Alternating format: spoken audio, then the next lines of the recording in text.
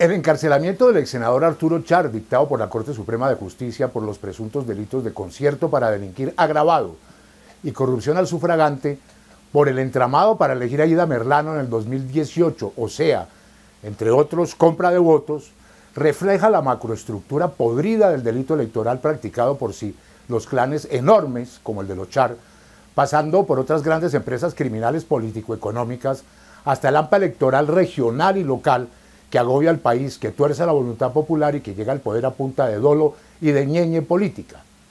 El caso de Char es relevante por ser miembro de una de las familias más ricas y poderosas del país, en un fenómeno retratado en el libro censurado de la periodista Laura Ardila, La Costa Nostra, que ya salió en otra editorial. El clan Char creció en el Atlántico a punta de politiquería y populismo, de la mano de un genio del clientelismo, Germán Vargas Lleras, propietario de Cambio Radical. Los Char, en lugar de construir tejidos políticos a su servicio, como tantos otros millonarios del país, actuaron directamente en política con el varias veces alcalde de Barranquilla, Alex, y el propio Arturo Char como senador. Otros grupos como Sarmiento Angulo, los Santo Domingo, los Ardira y los Gilinski de Semana han preferido cooptar líderes de derecha y partidos, prensa, pero los Char se lanzaron de una al agua sucia de la politiquería y a la par de su imperio comercial construyeron una avasalladora máquina electoral para proteger sus inversiones y mangonear por décadas en esa zona del país.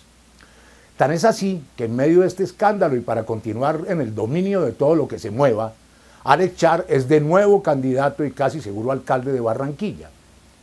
El problema no es si Alex no tiene nada que ver con las andanzas de su hermano. Lo que se trata es de comprender que uno y otro hacen parte de una desviada y en este caso delictiva forma de ver la política que les permite comprar votos. Los dos fueron educados por su padre Fuad, un as del negocio. A sabiendas de, los graves, de las graves sospechas sobre Arturo, Alex, que hace parte de la misma organización, que tuvo una relación amorosa, Alex, con la propia Ida Merlano, debería renunciar a su candidatura, pero desde luego que no lo va a hacer. Parte de la inmoralidad reside en el descaro, en creer que siempre van a ganar que podrán entorpecer la justicia y beneficiarse de la impunidad, lo cual no parece ser el caso, por lo menos esta vez con la Corte Suprema, que tiene preso al cuñado de Luis Carlos Vélez, el matoncito de RCN Radio. Detalles del caso. Aida Merlano, además de las compras de votos, dice que los char recibían coimas y financiaban campañas con plata de la contratación de Barranquilla, en alianzas entre partidos y a punta de clientelismo.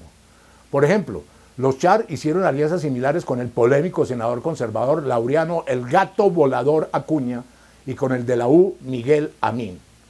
De ello quedaron rastros y videos de votantes en soledad que salían de los puestos de votación trasteados en motocarro y en una esquina se les entregaban billetes de 50 mil pesos a quienes llegaban a votar. Supuestamente, con esos dineros fue elegida Ida Merlano y reelegido el senador, el propio Arturo Char. Sobre eso dijo la Corte Suprema, comillas, dicho concierto delictivo habría ido más allá de, un simple convenio político. Se habrían ejecutado delitos contra los mecanismos de participación democrática, cierro comillas.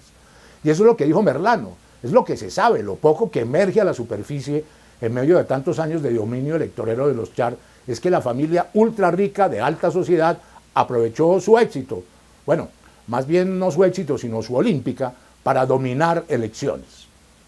Arturo Char dice que Aida Merlano miente y a través de su abogado Cancino, sí, Cancino, el mismo de Uribe y de otros, reclama su inocencia como lo presume la ley, pero la Corte, basada en pruebas objetivas, dicta que la investigación prosigue y que Char será citado a ampliar indagatoria ante la Corte por corrupción electoral y que debe quedar detenido, pues en libertad podría afectar el proceso.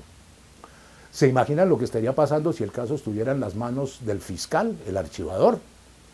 Más allá de lo que suceda judicialmente, para el país la metáfora es incuestionable en torno al delito electoral y los manejos inmorales de la política.